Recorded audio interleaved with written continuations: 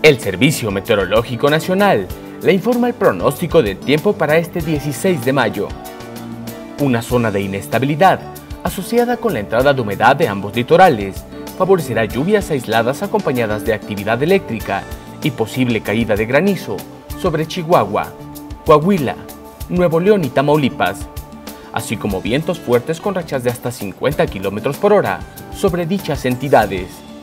mientras que un canal de baja presión en combinación con la entrada de humedad del Océano Pacífico y Golfo de México, generará potencial de lluvias puntuales muy fuertes acompañadas de tormentas eléctricas y posibles granizadas en Puebla. Lluvias fuertes en Hidalgo, Estado de México y Tlaxcala.